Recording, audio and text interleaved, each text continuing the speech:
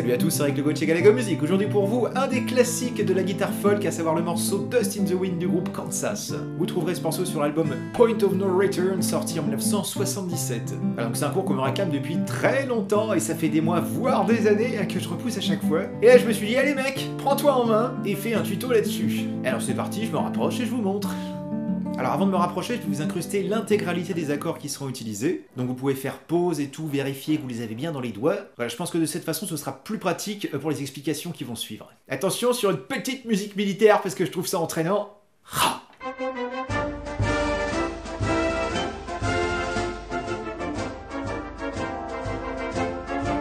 C'est bon, vous les avez? Cool alors je dirais qu'il y a au moins 90% de ce morceau qui est construit sur un arpège récurrent de main droite, un arpège bien connu qu'on appelle le Travis Speaking. Alors rapprochage et je vous montre de près la main droite. Alors vous allez positionner le pouce sur la corde de La, et index majeur et annulaire sur les cordes de Ré, Sol, Si. Voilà, et on ne bougera quasiment jamais de ce placement initial.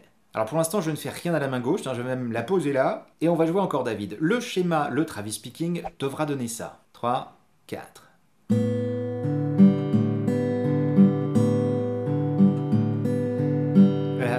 Tourner en boucle quasiment tout le temps. 1 et 2 et 3 et 4 et 1 et 2 et 3 et 4 et 1 et 2 et 3 et 4 et yeah.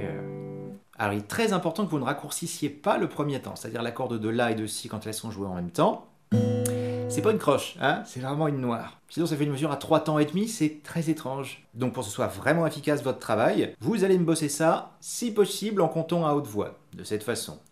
1 et 2 et 3 et 4 et 1 et 2 et 3 et 4 et...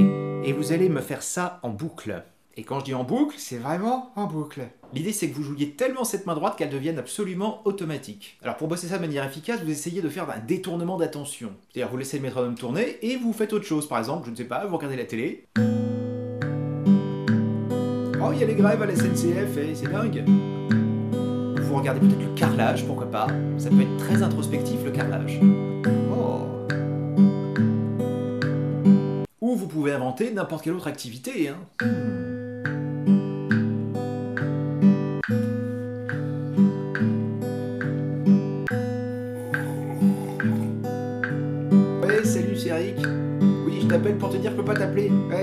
Ouais, je suis en train d'enregistrer un là, ouais.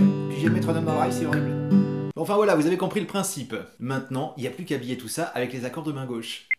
Donc première partie, l'intro. Vous faites évidemment le schéma de main droite que je vous ai montré. Et vous commencez par un Do majeur. 3, 4. Ensuite Do majeur sur l'index. Do majeur 7. Ensuite Do à 9. Petit doigt troisième case du petit mi et Do majeur à nouveau. Avec ça, vous avez un quart de l'intro. Je vous le refais et j'enchaîne sur la suite. Do. Do majeur 7.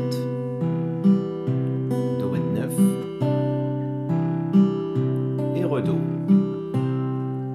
Ensuite, La, seconde suspendue. C'est comme à la mineure, mais sans l'index. La carte suspendue. Petit doigt troisième case du Si. La mineur. Et la seconde suspendue. L'intro. Je vous refais tout ça et j'enchaîne. 3, 4 et...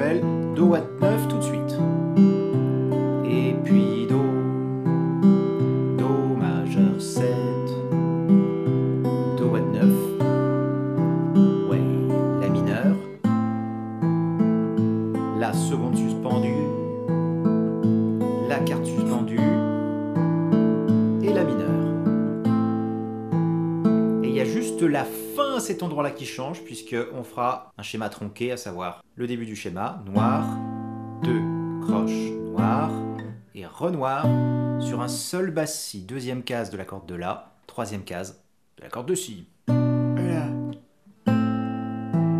Gring, gring, yeah. Alors pour des raisons pratiques, depuis le début je vous disais que c'était des noirs et des croches. Il se trouve que dans l'écriture du morceau c'est plutôt des croches et des doubles croches. Je préfère le dire parce qu'avec la partoche en dessous, je voudrais pas que ça vous trouble trop. Donc toute l'intro avec la partoche, tempo à 90, à la croche. 3, 4.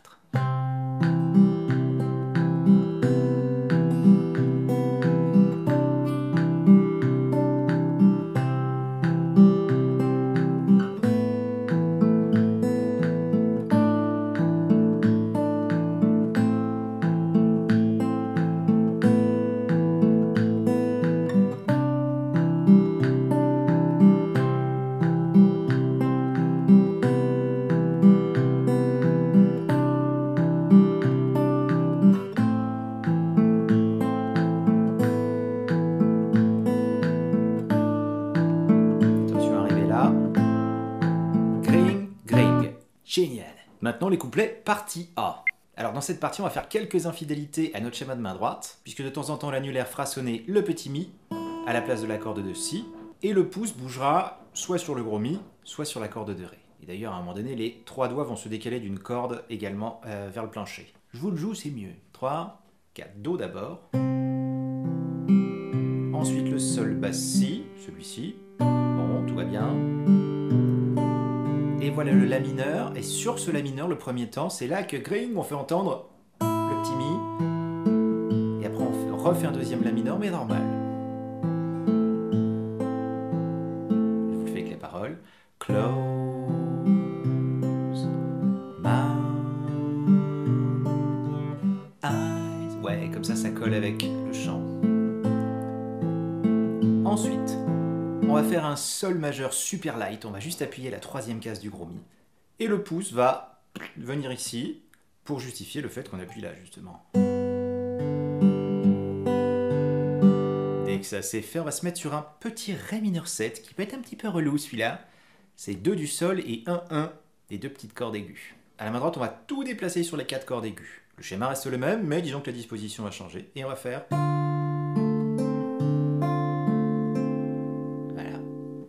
pour des raisons pratiques, très souvent on enlève la dernière note quand on est sur ce Ré mineur 7. Voilà, comme ça on a le temps de se déplacer et revenir sur un La mineur qui terminera cette partie A. Si le Ré mineur 7 vous embête, vous faites un Ré mineur. Standard, hein, ça marche très bien aussi. D'accord Dès que vous êtes sorti de là, on repasse sur un La mineur et on refait le coup du je fais sonner le ch'timi.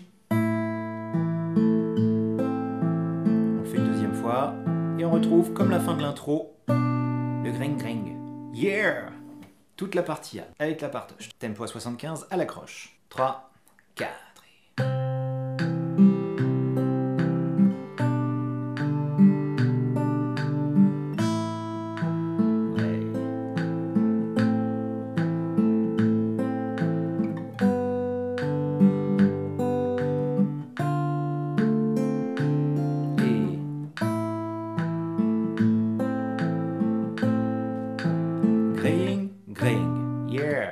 Rendu à cet endroit-là, vous faites un deuxième couplet. Donc un deuxième A, mais qui va être prime, donc A prime, parce qu'à la fin, il y a un tout petit changement à la dernière mesure. Donc ça commence pareil, redo. Oh,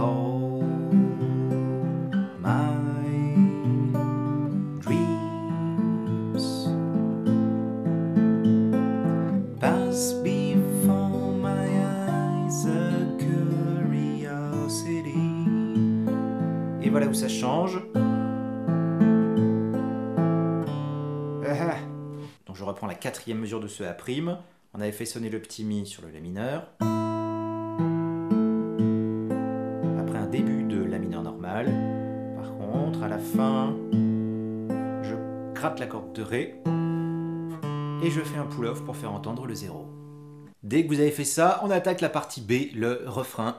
Et on a fait déjà à peu près 60% du morceau. Hey hey Vous allez vous placer sur un Ré basse Fa dièse, encore à cette tronche-là, 2 et 2 des cordes de Mi et Sol, et troisième case de la corde de Si. À la main droite, le pouce joue sur le gros Mi. On va faire donc Ré basse Fa dièse. Sur la dernière note, on peut enlever ce doigt-là pour faire entendre le Sol à vide, comme ça, hop On se place rapido sur le Sol super light. Le seul doigt d'honneur, je suis désolé. Mineur. Et là, attention, la mineur basse seule, c'est-à-dire c'est la mineur comme ça, plus le petit doigt, salut, qui appuie sur la troisième case du gros mi. Et donc le pouce de main droite joue le gros mi. Voilà. Encore ça, les deux premières mesures du B, vous avez fait la moitié du refrain.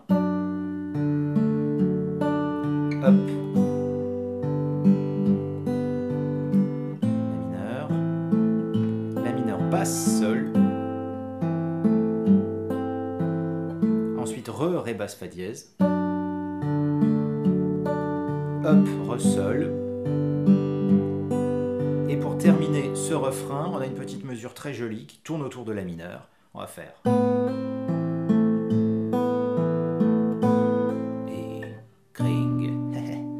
Donc j'attaque en la seconde suspendue, donc sans l'index. Je chope la corde de la, la corde de si. Hammer-on en première case. Corde de ré, corde de sol. Rela. Je refais entendre le si à vide.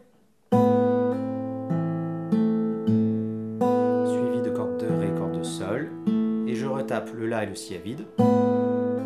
Plus hammer-on. Et voilà. On attend un petit peu et on refait un sol basse si. Toute la partie B avec le métronome. Toujours 75 à l'accroche avec la partouche. 3, 4.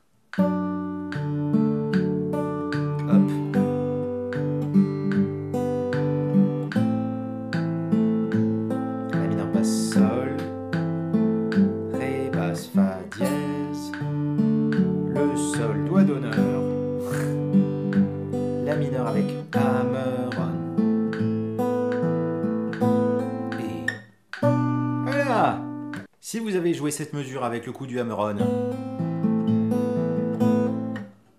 eh ben on va repartir sur les couplets, la partie A. Il y a une autre possibilité, c'est de zapper cette mesure avec les hammer-on là, et de passer directement sur le pont, la partie C. La partie C super jolie qui donnera donc...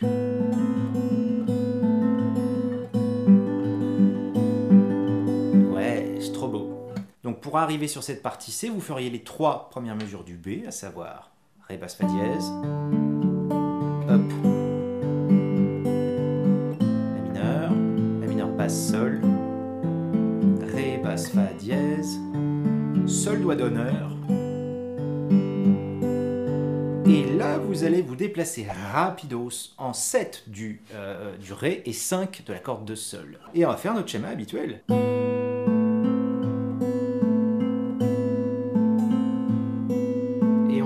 De jouer cette note-là parce qu'il va falloir se déplacer et on n'aura pas le temps, ça va sonner bloqué, euh, pas joli. Donc mettez-vous bien à la verticale pour votre attaque pour éviter que l'accord ne sonne comme ça. Et au début, ça va vous faire ça, c'est pas joli bien sûr. Hein, qu'on entende bien? Ouais, un La mineur, trop beau. La mineur 9 exactement. Donc, une mesure comme ça. Deuxième schéma. Ensuite, dès que vous avez fait ça, on va inverser les doigts. On va faire 5 du Ré et 7 du Sol. Mais pour des raisons pratiques, on va plutôt utiliser le petit doigt à la place de l'annulaire pour faire ça. Donc la deuxième mesure du C. Même schéma. hein.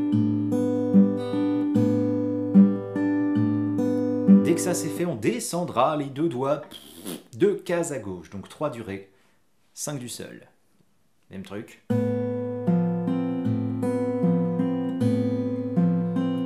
Sur la quatrième et dernière mesure, on rajoutera, c'est relou, on rajoutera le majeur à la troisième case de la corde de Si, pour avoir un accord qui fait 3 du Ré, 5 du Sol, 3 du Si. Truc comme ça. D'accord J'ai vu des mecs qui parfois faisaient un barré euh, à cet emplacement, comme ça ils n'ont pas besoin d'utiliser le majeur, et ils feraient ça comme ça. L'embêtant c'est qu'on n'a qu'un schéma et tout de suite après, il faut refaire sonner le si à vide. Donc c'est vous qui voyez. Soit comme ça, puis sans le majeur, soit avec le petit barré. Voilà. Et puis c'est reparti sur le C pour une, euh, pour une deuxième boucle. Donc pour terminer, je vous joue cette partie-là au métronome, toujours 75 à la croche avec la partoche, et c'est terminé. 3, 4.